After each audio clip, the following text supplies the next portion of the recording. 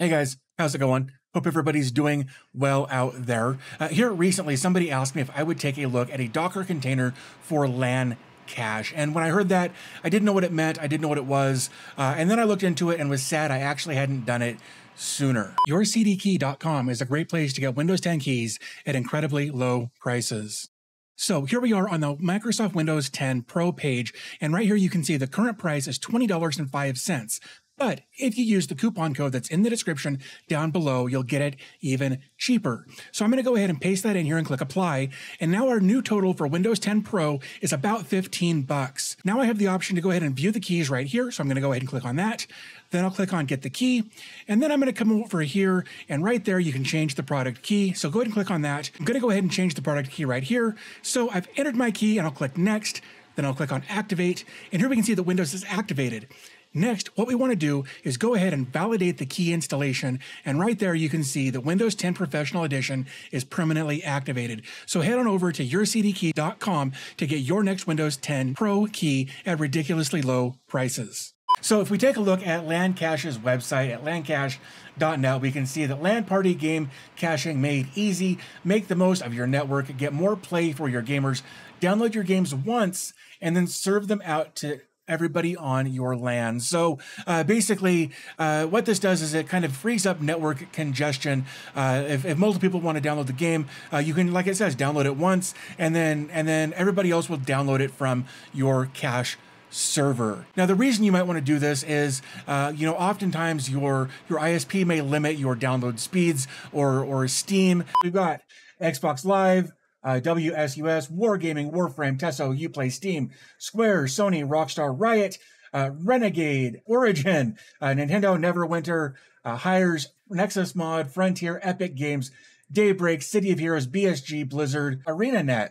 So this is more than just a Steam cache. This is a LAN cache for a ton of different services. Uh, maybe uh, you know experiencing high traffic volumes and slow your speeds down that way. And if you've got multiple people all trying to download the game, there's no point in wasting unnecessary bandwidth on your ISP side of things. So what I want to show you how to do is set this system up in Docker. Now I do want to be fully transparent here. I set up a separate VM on my Synology system uh, for this LAN cache setup. And the reason that I did that is because, like I mentioned earlier, this is going to be a DNS server as well as a cache server. So uh, what that means is if you've got something like Pi-hole or AdGuard or some other DNS uh, container on your, uh, in this case, Open Media Vault or whatever your home network is, if you've got a DNS server already set up, this isn't going to play nicely with that and it will need its own environment. So I went through the process of installing a new uh, setup for Open Media Vault 5,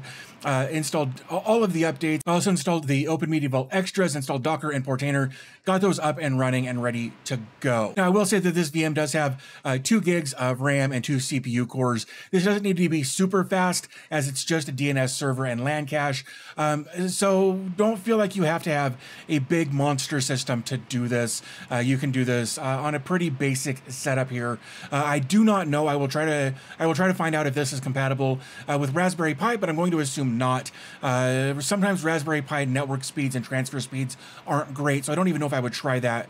Uh, or try this with a Raspberry Pi again. So I'm going to do this on an x86 platform on my Synology. So let's uh, come over here and take a look uh, right here, it's it's got some basic commands that we could use uh, if we wanted to go about it this way. However, I'm going to do it a little bit differently here. Uh, right down here is their their uh, Docker manual, and so basically there are uh, four commands here. I've simplified that. We don't need to run the first command or the fourth command. Those are just extraneous if you don't know what your uh, IP address for your system is. So basically what I've done is I've taken these two uh, middle commands, uh, oops, right in there, those two lines right there. And I have uh, converted them into a Docker, oops, a Docker compose file. There we go. And uh, let's go ahead and full screen that. And then let's make this real big. So here we can see it's a version 3.3. Uh, it would probably work on a lower version than that, but uh, by default, it's 3.3. So we've got our LAN cache DNS server and our monolithic server. Our monolithic is going to be for caching. Uh, DNS or LAN cache DNS is like it says, it's for DNS. Uh, so restart unless stopped. That's true on both of these. Container name uh, for DNS is LAN cache DNS. Uh, LAN cache down here for the container name. Um, use generic, uh, so we've got port 53 for DNS, that's standard. Uh, below that, we've got uh, our environment for use generic cache is true. And our LAN cache IP, this is going to be whatever the IP address of your server is in this case. So for me, uh, it's going to be 201. All I had to do is just change that to 201, change this to whatever your uh, LAN cache IP address is going to be. Uh, below that, we've got our image. So let's take a look at the next container here. Again, let's restart and let's stop. Container names LAN cache volumes. Uh, we do have a couple of volumes, one for data, one for logs. You can map those wherever you'd like to map them. I'm just going to leave them just like they are. Again, I'm on uh, a brand new install I cut uh, for, no, I'm going to leave these just like they are. They are, or this system is set up specifically for LAN caching, so I'm not going to change anything. Just going to leave it like this. And then the ports um, are 80 and 443. Of course, I've adjusted that. Okay, guys, so this is uh, editing me from the future after running into an issue later that, I, that I'm going to try to fix. So uh, these have to be 80 and 443. Um, I was wrong. I ran into some issues later. Uh, that needs to be 80 and 443 in order for things to work properly. So uh, make sure that when you paste that in there, uh, 80 and 443 are set up like this. Uh, also, this is another good reason to set this up as a VM or a, a new install to make sure that you've got 80 and 443 available. Uh, if you're using Open Media Vault, you will need to change uh, the port on Open Media Vault. Um, let me get logged in here. Uh, to the dashboard, change this to like 81 or something up here. Uh, you can actually do that in general settings. Go to port, change it to anything but 80. Uh, 80 uh, needs to be available, as does 443, uh, as we saw, uh, as we're as we're seeing here. Those ports need to be set up like that, or Steam will not work correctly. And below that, we've got our, our image for LAN cache net slash monolithic, and using the latest version of that. So I'm just going to go ahead and copy that. I'm going to come over here back to Portainer. I'm going to go over here to stacks, and I'm going to add a stack and I'm just going to paste that in there. Uh, and then I'm going to give it um, a title there. Now, there's a really good chance that this is going to fail. That's fine. I want to show it failing so I can show you how to fix it. So uh, what we're going to do is just scroll down once we've got all this pasted in there and click on deploy the stack. So right now it's going to, of course, going to download and extract and install everything that it needs to install. But here in a moment, I believe, up here in the top right-hand corner, and we're going to get a big nasty red message up here in the top right corner that says port 53 is already being used. Uh, and that's fine. Uh, that's just kind of how uh, Open Media Vault works. And uh, so when that happens, uh, we're going to jump over to uh, our, our terminal again, and we're going to fix port 53 and, and, I'll show you how to do that here in just a moment. There we go. So uh, UDP port 53 uh, already in use. Cool. That's actually what we wanted to see there. So let's come over to here. actually want to, uh, let's clear that just to make it easier. So what we're going to do, again, this is for Open Media Vault 5. Uh, you may have to adjust this a little bit, uh, but basically what we're going to do is uh, sudo nano, um, like so. So we're going to do uh, etc. systemd uh, slash resolve dot conf like so. What we want to do is come down here where it says cache and a DNS stub listener. We want to uh, take out the comment line or comment in front of that, switch both of these to no. Like so, we'll do control O, enter, and control X. And then we can do a sudo reboot. Oops. Reboot like that. So basically what we did is we just told it not to uh, use the internal cache and then we rebooted the entire system. So once that is done, we'll give this a minute uh, to, to do its thing here. A few moments later. Okay, so uh, after we rebooted the system, we gave it a minute for everything to come back up. Here we are. So uh, you can see that one of the containers start, started. This is the LAN cache. Uh, the LAN cache DNS didn't start because it wasn't in a started state when we rebooted. So what we're going to do is come into here. We're just going to click start. I we could have done it from the other screen, but we're going to do it from here. There we go. So now our container has been set. So now our container has been successfully added. So if we come back to our containers, we can see that the, everything is up and running. We take a look. Uh, that all looks good. Let's take a look at LAN cache.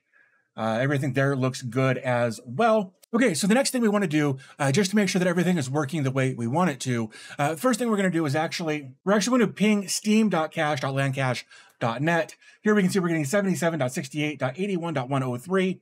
So that's good. That's a good start. Uh, the next thing we want to do is we actually want to, oops, ping. We're going to copy this link I've got over here. I will have, of course, links to all of this in the description down below.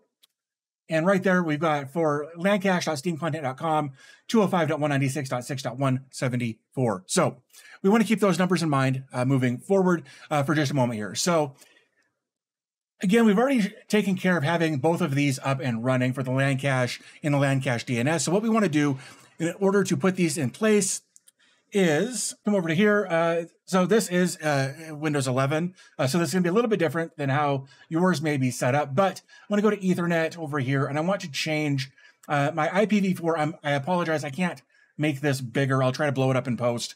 Anyway, what I'm going to do is I'm going to change this to manual. We'll do that. And then my uh, preferred DNS in this case will be 192.168.1.201. That is the IP address of our LAN cache server. So that's all we're going to do there. Um, and we're just going to save. And then right there is our IPv4 DNS server. Uh, we've got uh, our IP address there and our DNS server there. Uh, should be good to go there. So what we want to do next is go ahead and minimize this. Uh, we're going to do ipconfig slash flush DNS. I like to do that a few times. So let's ping that now. So here, now we've we've pinged steam.cache.lancache.net, and we've got 192.168.2.1.201. We scroll up before it was 77.68.81.103. So let's do uh, ping landcache. You know what? Let's ping lancache.steamcontent.com. And again, we're getting 192.168.1.20 one. So that means that our DNS is working uh, and we have kind of spoofed uh, those two IP addresses to be our local server. So we're going to go ahead and minimize this. And then we're going to open up Steam. Uh, here you can see I've been playing Valheim recently. Uh, so let's go ahead and minimize or close all of that. And let's just find a small, simple game that I've never installed. Um, it doesn't look like I've got any anything going on here. So let's go ahead and click on install. So disk space required. Let's drag that up. 1.17 gigs estimated uh, disk content available. 223. Great. Two hours and eight minutes. We're not really worried about that right now. So the next thing we want to do is actually click next. And uh, then we'll go ahead and click on downloading down here. And we can see that uh, it's not doing anything. Let's give it a second. It's kind of thinking in the background here. So we're going to give this just a second. Okay, little side note here. Uh, I was having issues uh, getting everything to work. Uh, for some for some reason, it wouldn't download the files or whatever. So I made two changes to this setup. The first thing uh, I did was actually change uh, the ports uh, for this to 443 and 80. Again, this is another good reason to have just a dedicated system for this. I honestly don't know if that was the issue because I did two things at once and didn't do a good job of job of troubleshooting, so that was my fault. The other thing I did was actually just restarted Steam. Those are the two things I did to get past this. Like it just, it wouldn't download, it wouldn't connect, it wouldn't do anything. But uh, let's go ahead and take a look at what LAN cache can do for us now. So uh, here we've got, let's go over here and find a game. Uh, Bayonetta, Beholder. Let's do Beholder. So what we're going to do is click install. So this is a 1.56 game or gig game. We're going to install this on my C drive. Now, the reason I'm doing this on my C drive, it is a it's a, it's a one terabyte uh, NVMe SSD. It's a Gen 3 not a Gen 4, but uh, I didn't want to install it on uh, a spinning hard drive just so we could actually get the full uh, the full demonstration here. So we're going to put this on, uh, like I said, an M.2 SSD NVMe drive. So here we are. I'm going to click next, and uh, we're going to go ahead and come over here to go into downloading. And right here, we can see current uh, is 4.7 megs, 7. Like it's going to go up. What we're really focused on, what we're most interested in is, peak right here. So uh, we're going to let this run and uh, it'll be done here actually really, really quick. Okay, so Beholder is now installed here. So we can see that we got a, a maximum speed of 23.1 uh, megabits per second. So let's let's go in here and let's actually uninstall it. Uh, we'll click uninstall, and we're going to come back to our library. Um, and of course, this isn't something you would normally do, but it's a demonstration here, right? So now we've got Beholder here. I'm going to go ahead and click on install. Uh, we're going to install it to the same place. It doesn't matter where you install it, but again, to make sure that there are no bottlenecks or anything like that, we click next. We're going to click over to here. And here we can see immediately we jumped to 36.1, 51. Uh, and that's how quickly we were able to download that game. Again, that time we hit 51 megs. All right. So Uh, let's go find a different game to download. Let's um, let's pick distance maybe. Let's see how big that one is. All right, distance 2.73 gigs. Again, we're going to install this locally. I've never installed this game on my system at all. We'll click next. Uh, we'll click agree. All right, so now it's doing its thing. Uh, here we can see that we're we're getting our new download numbers here. Okay, so now we've got distance installed. We had a peak of 28.6 megabits per second. So let's right click it. Let's go to uninstall and let's click on uninstall. rate. So I'm going to close this and reopen it just so we get clean numbers again. All right. So here's distance. Let's take another look at this. We're going to install it again. and here again, we can see it's 2.73 gigs. Uh, we're going to install the same place. We'll click next and we'll click downloading. And here we go. Immediately 80 megs, 87 megs, 91 megs. So we got about 92 megs on our download speed that time because we've got a cache server on local premises that's allowing us to, to store those files for anybody else on the network to access. So guys, there you go. There's how to set up LAN cache in Docker on your home network. Again, I did this on a clean install of Open Media Vault in a virtual machine, but uh, if you've got a machine that doesn't have a DNS uh, container on it, you could do that on there as well. Just make sure that you've got a decent amount of hard drive space available to your containers uh, because you're just going to be storing uh, these games on that server for later use. Uh, so make sure that you've got a decent amount of hard drive space for these containers to, or for this container setup to work and get the most out of it. So definitely check this out if you're interested in gaming and having uh, your own LAN cache set up for yourself to use. If you want to, if you like to install and uninstall games and reinstall, that sort of thing, or you've got other people on your network who might also want to install games more quickly. Now, again, here's the thing, like you can only,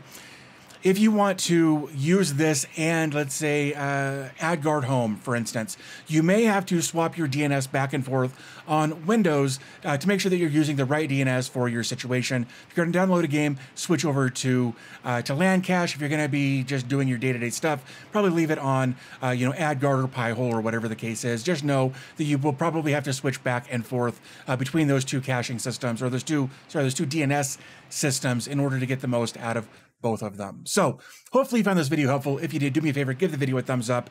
Uh, I would really appreciate it. Also, again, everything will be linked in the description down below, including a few different ways that you can help support the channel, whether it's becoming a patron uh, through Ko-fi, through PayPal, whatever the case is. There are several different ways you can support the channel.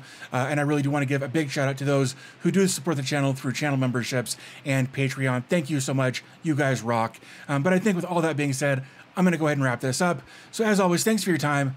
I always appreciate your support, and I'll talk to you in the next video.